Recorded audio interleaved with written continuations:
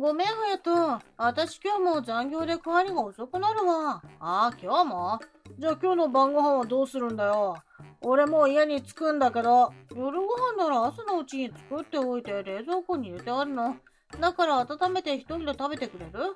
仕事から疲れて帰ってきたのに出来たてのご飯もないのかよ。つうかお前、今日も残業って仕事の効率悪すぎ。家のことも仕事もできないってどんだけ無能なんだよ。は？だってここんとこ毎日残業じゃん少しは優秀なこの俺を見習えよな。いつもパーフェクトに仕事をこなして定時退勤だぜ。残業なんて入社してから一度もしたことないんだからな。はいはい、いつもすごいですね。でもこっちは繁忙期だし、忙しくても家事もこなしているの。嫌味を言う暇があるなら少しは早くも家事を手伝ってよ。なんで有能な俺がお前の尻拭いをしないといけないんだよ。尻拭いって家事は二人にとって必要なことでしょ？なのにいつもいつも私を押し付けて、有能だって言うなら少しぐらいやってくれてもいいじゃない。分かってねえな、美月は。効率重視で働くのって集中力も必要だし結構疲れるんだよ。だから俺は仕事から帰ってきたら一歩も動けない。休むのに忙しいから俺は家事なんてやる必要ないんだよ。は？俺は無能のくせに体力だけあるお前とは違うんだよ。家事なんて無能のお前が一人でやっておけ。いや、全然意味がわからないから。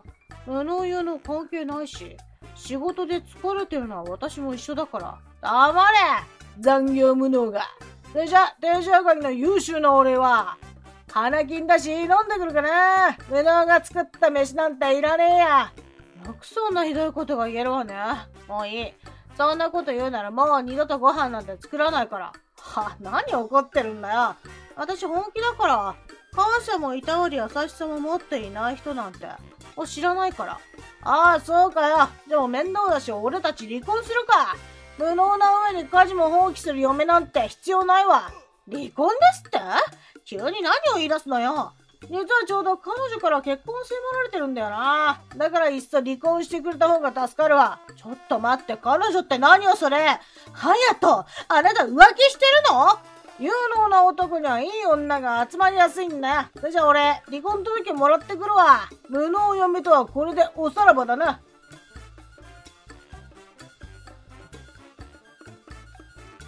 みつきハヤトと離婚してくれてありがとうまさかこんな急展開で離婚するとはね。でもハヤト君のことは私に任せてね。みつきよりも絶対幸せにしてみせるから。ちょっと待ってよ。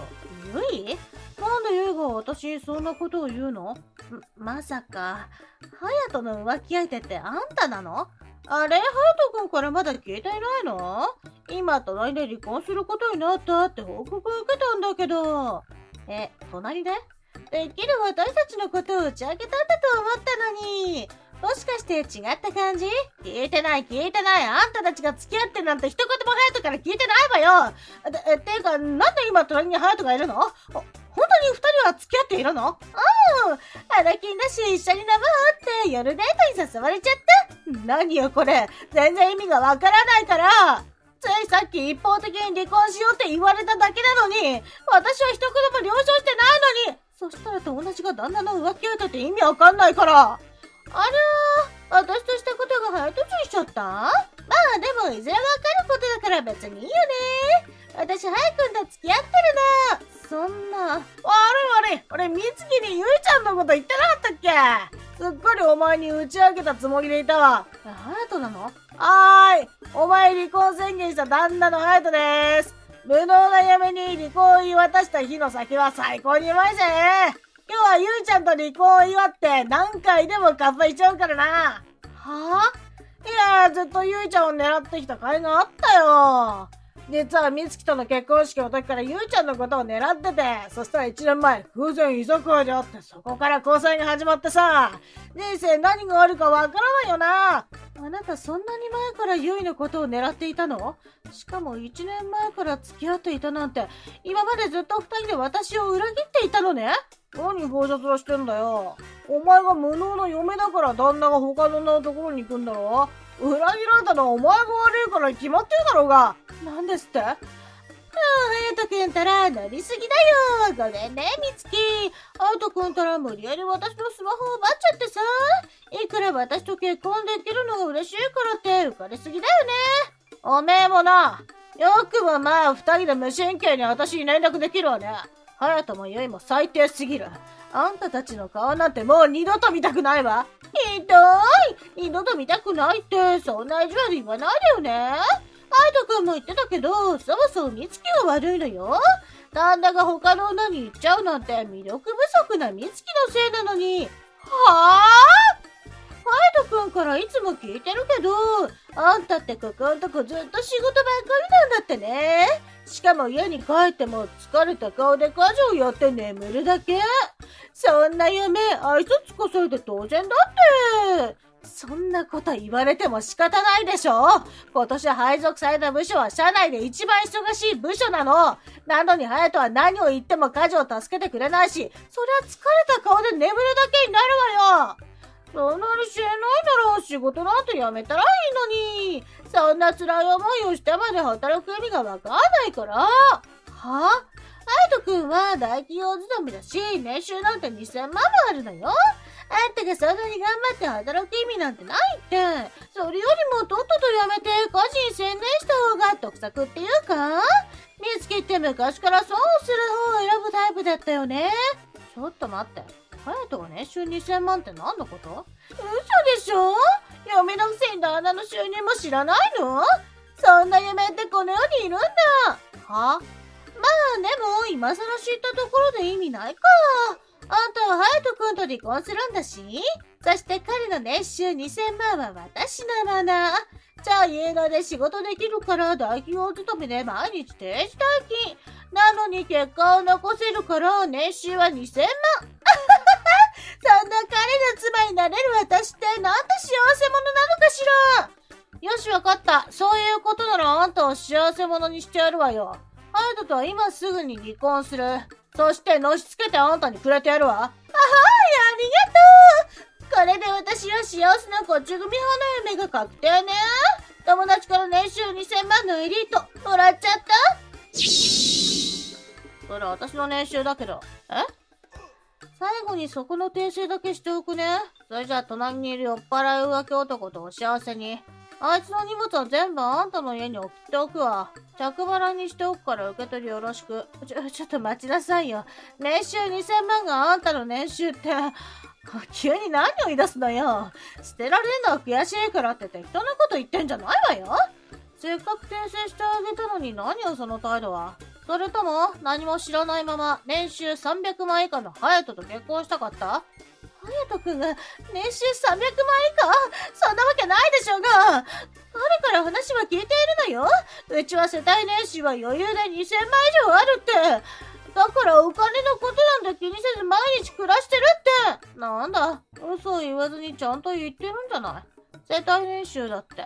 私と隼人の収入を足して2000万以上あるっていうだけ。隼人が個人で2000万以上稼いでるわけじゃないから。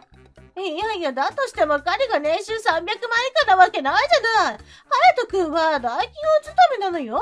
しかも残業なんて一切しない有能な社員なの。それに比べてあんたは無名中小企業勤めだし、無能で残業ばかり。だから年収300万以下はあんたのはずよ。隼人は確かに大企業勤めではあるわ。でも実態はその大企業の末端の末端の支社の平社員。出世よりも定時退勤が1番で、未だに基本給は新卒と同じ18万よ。え？新卒と同じ、たった18万？大して私は仕事も出世も大好きなの。無名の中小企業勤めだけど、これでも常務を任されているんだから。常務？それってとんでもなく偉い肩書きじゃないのよ。もはや社長に近いじゃないのよ。だから年収2000万近くもらえているのよ。それにジョーの仕事の他に自分で契約も取ってきたりするし、その時の売上ボーナスもあるのよね。嘘でしょ？あんたそんなに稼いでいたの？そりゃ疲れた顔で帰ってくるし、家に帰っても家事したらすぐに寝るわよね。なのにその頃で旦那は妻の友人と浮気なんて本当にあんたたちは最低だわ。あ、いや、それは、私が出世していくたびに、ハヤトが私に冷たくなっていくのは感じてた。でもだからこそできるだけ家のことはやったし、収入が上だからって威張らないように気をつけたつもりよ。でも、そんな私の気持ちも、彼は何も分かってくれなかったよね。そんな男なんて必要ないからどうぞ。あとはよろしくね。えー、何驚いてるのよ。あんたと結婚できて、あんた嬉しいんでしょ？いや、嬉しかったらついさっきまでっていうか、今嬉しいっていうより、悲しいっていうより、驚きっていうか、私はあんな男を喜んでもらってくれる人がいて嬉しいわ。それじゃあ入るとお幸せにね。とっとと仕事を終わらせて離婚届もらってくるわ。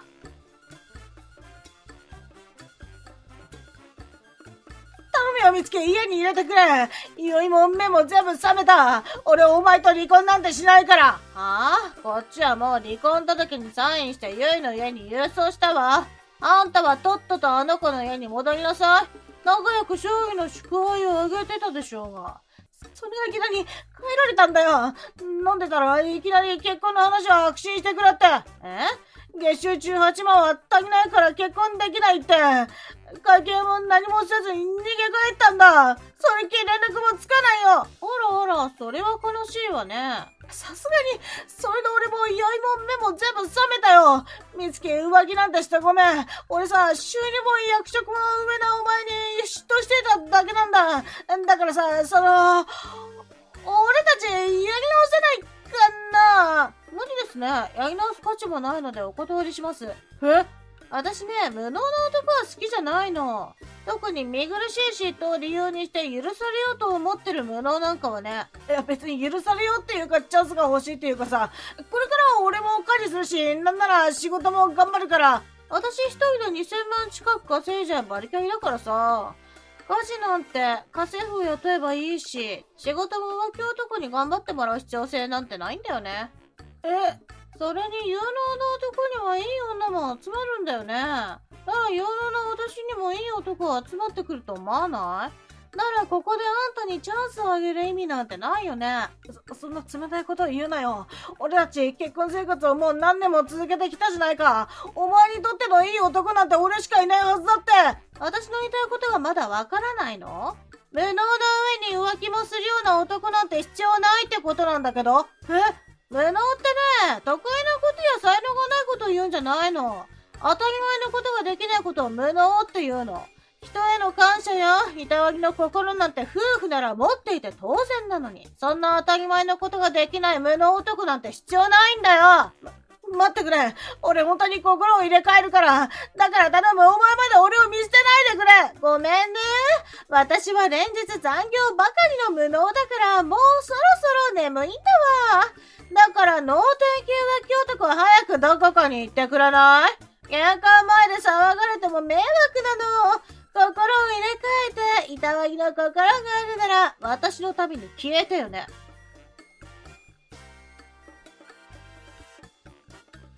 ちょっと美月、医者の請求って何よこれもう私は隼人君と別れたんだからやめてよねああ、そんな言い訳が通じると思ってるの？あんたたちの浮気を理由に、私とハヤトは離婚するの？あんたにはその責任を取る必要があるんだよ。そんなこと言われても無理なものは無理だから、私お金なんて持ってないし、っていうか友達に請求するとかありえないからね。友達の旦那に手を出すやつに言われたくねえんだよ。お金がないって言うならあんたの実家に連絡してもいいのよ。え？こういう時、浮気相手が知り合いで助かったわ。私はあんたの実家もご両親も知ってるし、逃げるつもりなら実家に即連絡を入れるからね。嘘でしょ？待って。実家だけはマジでやめて。今いろいろと実家でもやばいことになってるの。なのにまた既婚者に手を出したってバレたら今度こそ絶縁だよえー、またってどういうこと？え、実はその、私前の彼氏も既婚者だったの。っていうか、前の前もその前はみんな彼氏が既婚者だったんだよね。え？ほら、私もいい年し、いろいろと結婚も焦っているのよ。もちろん年収とかは度胸したくないんだけど、その、なぜか私の希望の年収の人ってみんな既婚者が多いんだよね。だからそのせいで、歴代彼氏はみんな既婚者っていうか、まさかそれがご両親にバレたの？前の彼氏の奥さんが実家に乗り込んできてバレちゃったの。それで慰謝料も請求されて今親にお金借りてる状態です。だからこの状況でまた慰謝料請求されるのってやばいのよ。親にも二度目はないからな。と言われてるし、だからお願い慰謝料請求はなしと親にも内緒にして。よし、事情わかったわ。じゃあなおさら伝えてくるわね。猶予なしで速攻電話してくるわ。はああ？んた人の話聞いてた？友達がピンチだって言うのになんで追い込むのよ？友達だからこそ息の根を止めないとね。ええー、前の彼氏で懲りればいいものを、次は友達の旦那に手を出すくらいだもの。改善が期待できないなら、もはや終止符を打たないと。そんな待って。こういうのは知り合いだからこそ徹底的にやってあげられると思うの。だから任せて。私があんたのご両親に洗いざる話してくるわ。いやーやめてやめて本当にやめて慰謝料なら払う払うから分割でも何でもして絶対に払うからこんなにお願いしてるんだから少しぐらい許してよ何違法者ずらしてんのよ。あんたが無能な浮気女だからこんな状況になってるんでしょそれじゃあ、慰謝料の振り込みは期限までによろしくね。そして私とハヤトの離婚は無事に成立。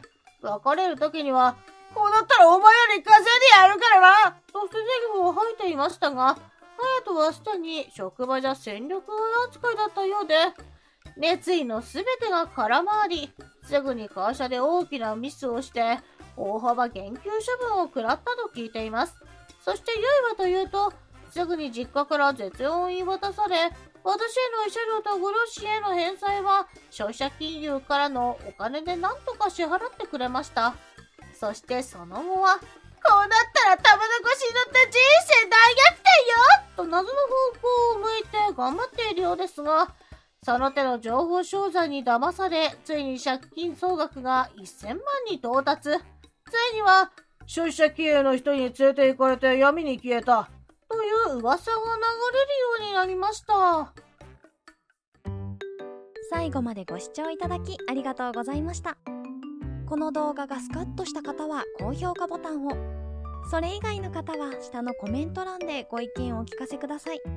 チャンネル登録もよろしくお願いします。あなたの評価やコメントが今後の励みになります。また他にもあなたをスカッとさせられる動画がたくさんありますので当チャンネル内の動画をぜひご覧になってくださいね。それでは次の動画でお会いしましょう。緑のネタ帳でした。